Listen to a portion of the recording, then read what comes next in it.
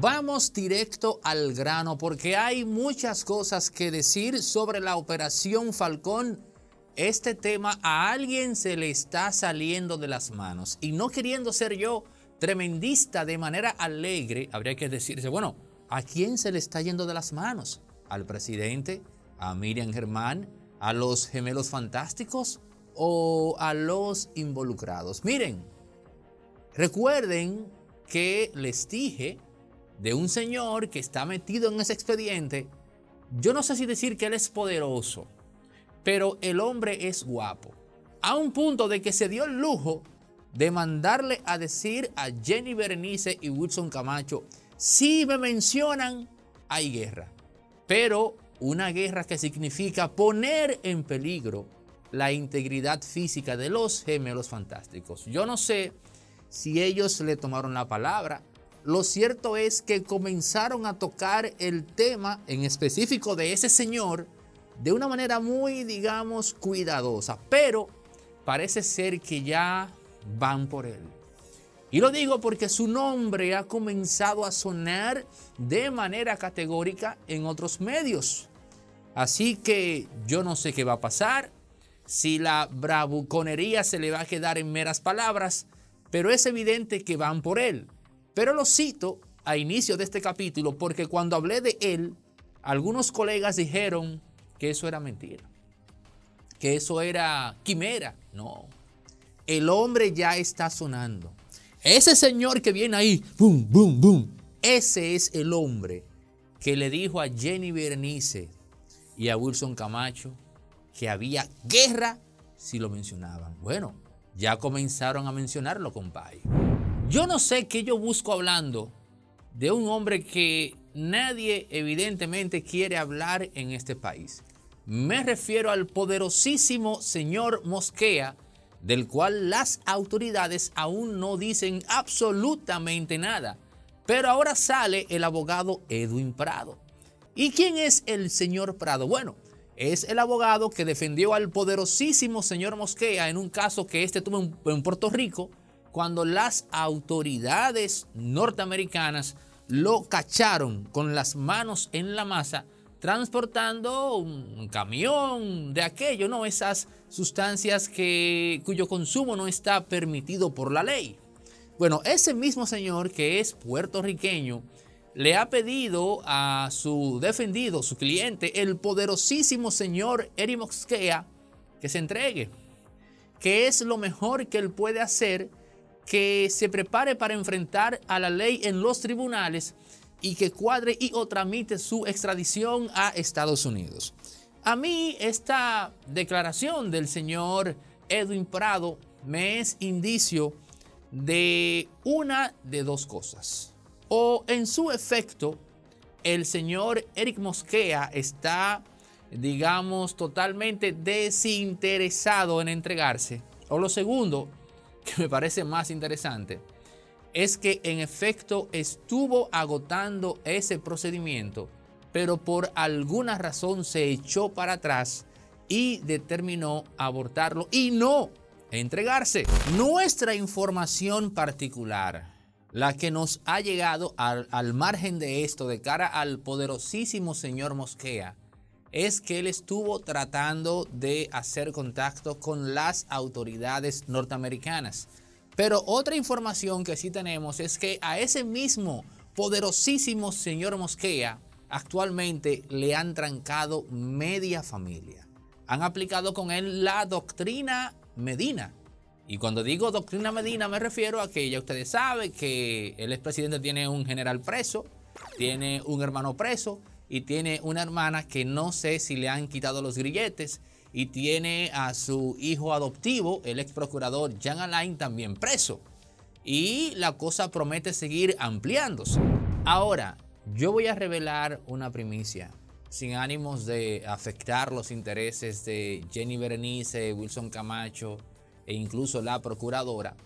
Yo no sé si fue que ellos cometieron un error, en verdad lo dudo porque podría decirles que a este segundo el juego en el que están metidos los gemelos fantásticos es tan complejo como el juego en el cual se encuentra Luis Abinader, dirigiendo los destinos de la nación.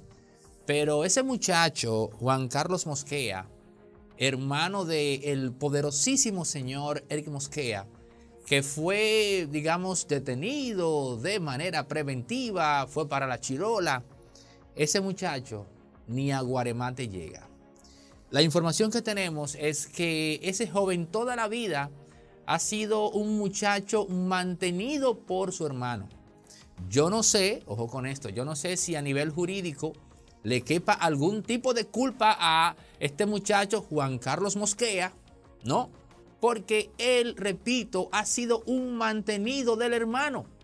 Los negocios que él tiene y muchas de las cosas exhibe, se las compraba su hermano a modo de regalo, porque ese muchachito era la, digamos que era el iris en el ojo del el poderosísimo señor Mosquea.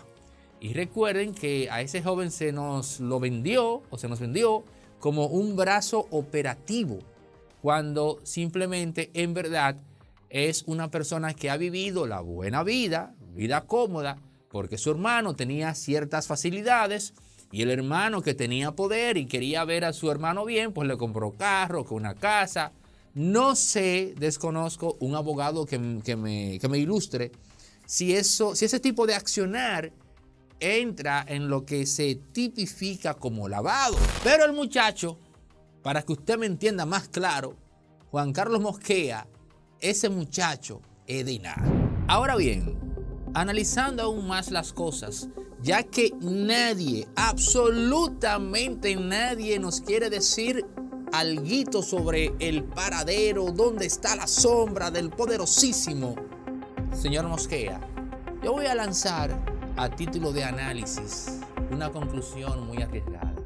¿Y qué tal si en verdad estas declaraciones del abogado Edwin Prado, al sugerirle, al decirle que se entregue, me refiero al poderosísimo señor Mosquea, que se entregue a las autoridades, no es más que una cortina de humo para distraer y por lo tanto ocultar ante los ojos de los gemelos fantásticos e incluso la misma Miriam Germán la realidad de que el hombre esté negociando su entrega directamente con las autoridades norteamericanas. Eso sería, sería un señor toque por tercera. Pero vamos a ver, porque de momento no sabíamos que el señor, el poderosísimo señor Mosquea, era pelotero.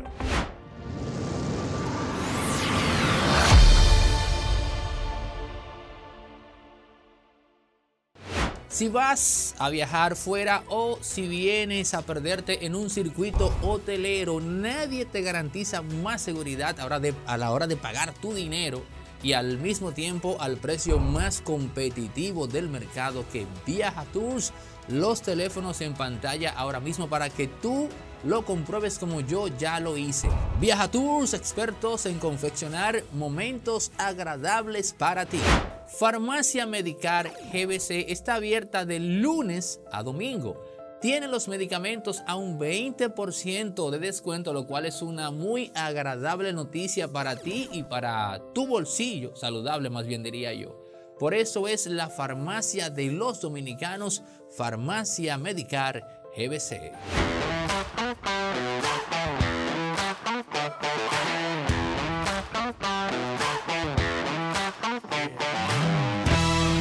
Este es otro análisis, pero hablando de lo mismo. Porque hay muchos cabos sueltos. Y me refiero a la Operación Falcón. Vamos a citar los elementos para luego, a través del análisis, hacer que cada uno caiga en su sitio. Por un lado tenemos la misteriosa desaparición del cirujano. Lo mandaron al más allá desconocidos. Pero ocurre que el anonimato de esos desconocidos no se da de manera, digamos, de manera eh, futil o de manera vana. El anonimato de esos desconocidos es parte de la clave. Segundo punto, tenemos a los inquietos empresarios de Santiago. Porque ahí hay un problema, señores. Amén de que estén o no en la cola, parte de ese capital pasó por ahí y eso los contamina.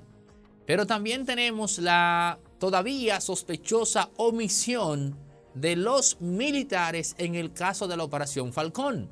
En un capítulo anterior nosotros establecimos vía un análisis que lo único que podía justificar que no se mencionasen militares en este tema era que los que ya se cacharon o a los que se logró, digamos, eh, echar mano, se habló con ellos para que dieran información y fruto de esa delación, a priori diría yo, pues sacarlo del asunto. Pero es imposible que donde hubo un manejo, según las autoridades, no yo, donde hubo un manejo de más de 10 mil millones de pesos, usted no tenga, amén de quien de quien era, por así decir, la chispa inicial, en este caso el cabecilla, la estructura, el poderosísimo señor Mosquea, pero eso no se podía manejar sin la ayuda de empresarios y sin la ayuda del sector, el sector militar. Y aquí tenemos también al sector político, que es el primero en caer, pero no podemos asumir,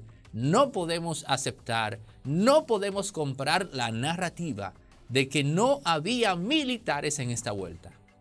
¿Qué tiene que ver la desaparición del señor, eh, digamos, del señor Rivas, mejor y cariñosamente conocido por los fanáticos de David Ortiz como el cirujano? Ah, otra cosa.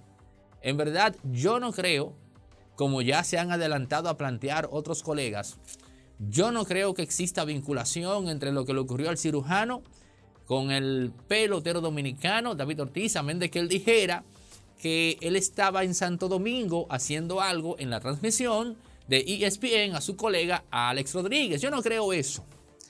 Pero para mí sí que existe una conexión entre lo que le ocurrió al cirujano y los militares que no se mencionan.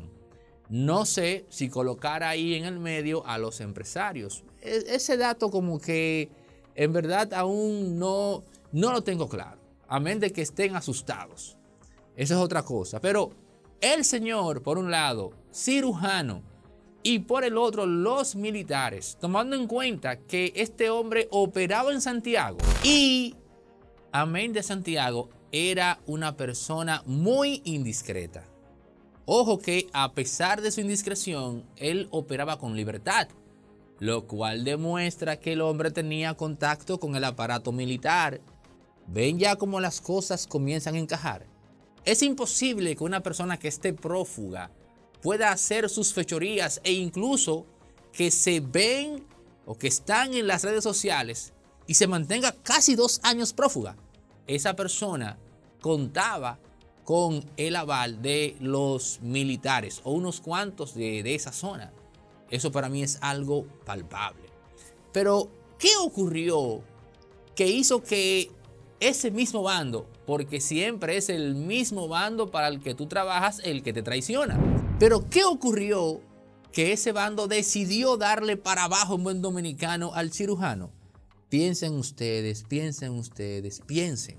Miren señores, aquí comienzan ya los detalles. El cirujano habría tenido como uno de sus encargos hacer lo que él sabe hacer en su negocio con dos personas que le habían dado un famoso tumbe a unos militares. Tenemos ese dato. Ahora, yo responsablemente llego a la conclusión de que lo que le ocurrió al cirujano está directamente vinculado a esos militares. Porque en cualquier momento el cirujano iba a terminar cayendo. Pero quiero que entiendan que los militares que mandaron al cirujano a darle para abajo son poderosos. Hay un detalle que lo revela y que lo expone frente a nuestros ojos y narices. Señores, el cirujano no cayó en un intercambio de disparos analice la psicología de quien mandó a sacar del medio al cirujano, que no tuvo que, no tuvo que ir de la mano de la narrativa del intercambio. No, no, no, no. Él agarró, o ellos, un grupo de gente, desconocidos, entre comillas, desconocidos, y fueron a hacer directamente aquel encargo, despachar al cirujano al otro mundo. Eso sí que usted puede eh, asumirlo como que 2 más 2 es 4. Fueron militares. Y no fueron militares a racabaca, no. Fueron militares al más alto nivel. Dando esto por sentado, que nos parece eh, groseramente obvio, hay una pregunta que entiendo se responde fácilmente. ¿Por qué mandan a hacer esto con el cirujano? Bueno, es evidente que, señores, el cirujano tenía algún tipo de información sobre esos elementos que sabiendo ellos que en cualquier momento él iba a caer. Porque ese es el punto. Aquí es que digo, la operación Falcón a algunos se les está yendo de las manos. Pero fíjense que pregunté a quién se le está yendo de las manos, al presidente a Jenny Berenice, Wilson Camacho, Miren Germán o a los implicados.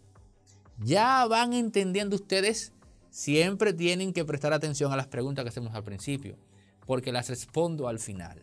Ese es el cuadro que tenemos con lo que le ocurrió al cirujano. Pero, pero, pero, pero, hay otro cabo.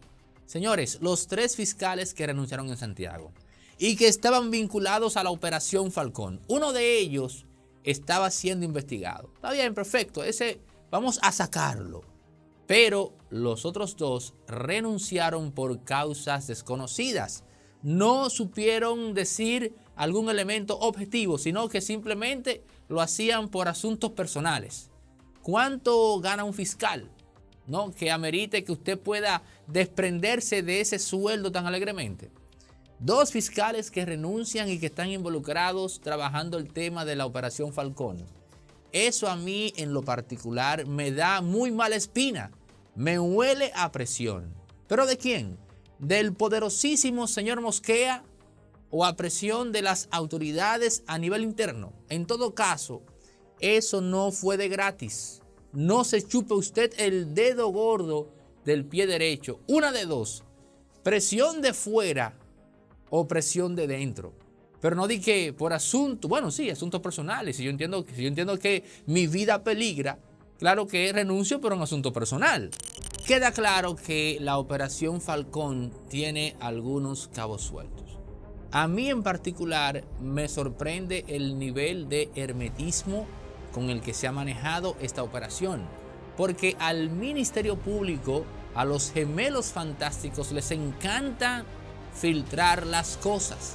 Pero yo les voy a responder por qué razón tenemos tanto hermetismo y por qué nos está recurriendo mucho a la táctica de filtrarlo todo a los medios de comunicación. ¿Saben por qué?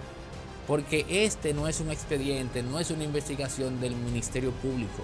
Y porque ya Jenny Berenice y Wilson Camacho tuvieron tremendo calentón y las autoridades norteamericanas le jalaron las orejas cuando se divulgó que el, método que se utilizó para interceptar los teléfonos de los principales o primeros implicados en la operación Falcón. A partir de entonces, fíjense cómo ha sido tan difícil que se filtren las cosas en torno a esta operación.